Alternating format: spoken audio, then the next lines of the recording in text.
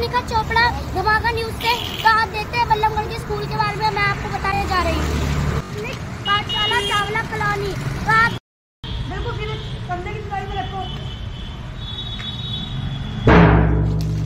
तो तो मुझे यहाँ दो बच्चे दिख रहे हैं तो इन्हीं से पहले विद्यालय की पूछताछ करते हैं। बच्चों, आप ये आपने स्कूल का नाम बताया मुझे। Government model Sanskriti primary school.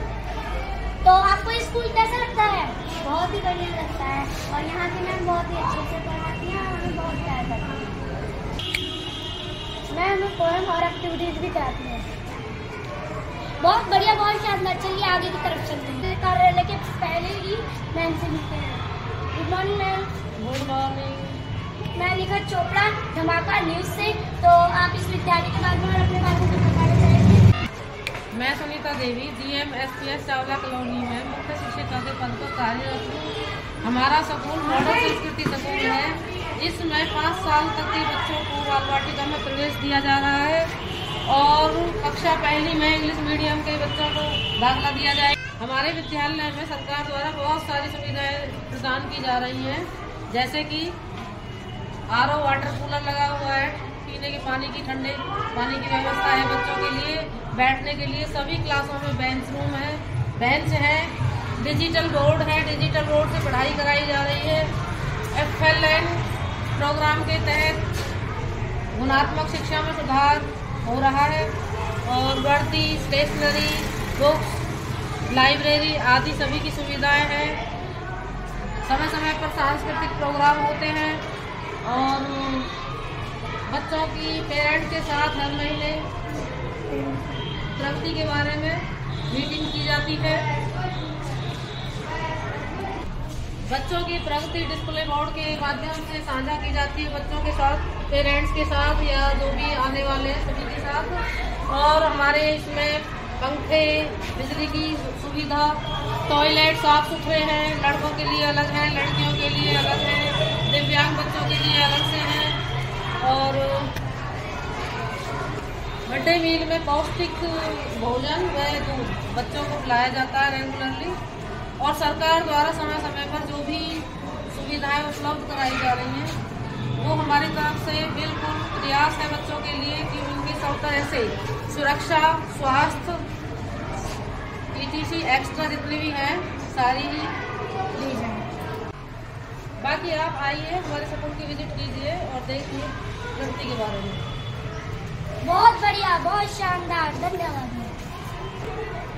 तो देखा आपने कैसे मैम ने हमें बहुत सारी वो बताई यहाँ पर बहुत सारी सुविधा है। तो चलिए अब हम विद्यालय के बारे में जानते हैं।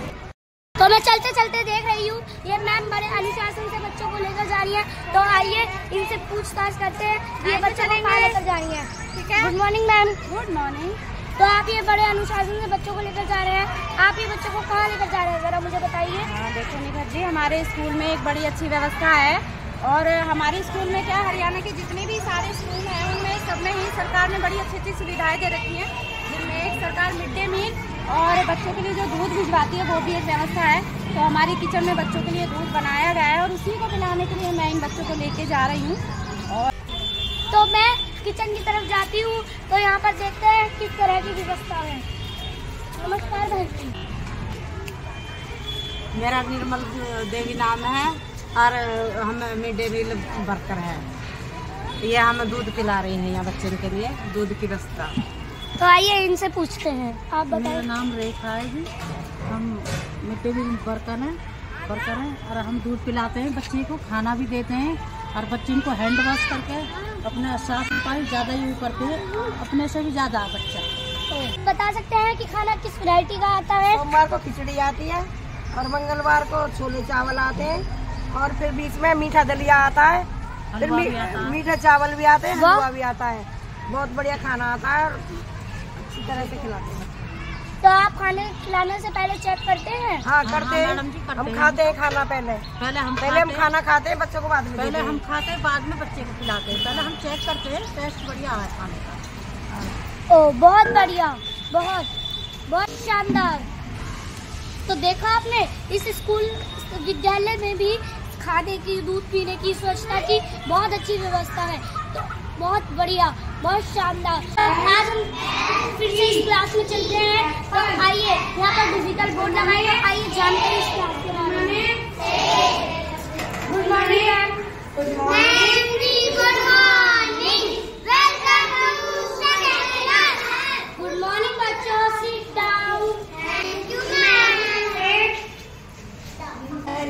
मैं निखत चोपड़ा धमाका न्यूज़ से तो आप मुझे बताना चाहेंगे इस क्लास के बारे में वैसे तो मैं इस क्लास में बहुत देख रही हूँ तो आप मुझे बताइए कि इस क्लास में क्या और किस टाइप से पढ़ाया जाता है यहाँ पे बहुत ही अच्छे तरीके से बच्चों को वेल एजुकेटेड पढ़े स्मार्टली तरीके से पढ़ाया जाता है। हमारे यहाँ समझी ये भी हमारी इंग्लिश की और मैथ्स की आई हुई है। उसके थ्रू भी हम बच्चों को काफ़ी चीज़ें सिखाते हैं।